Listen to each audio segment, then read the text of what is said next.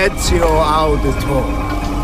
Brave of you to stand alone against me, but also quite foolish. Assassin.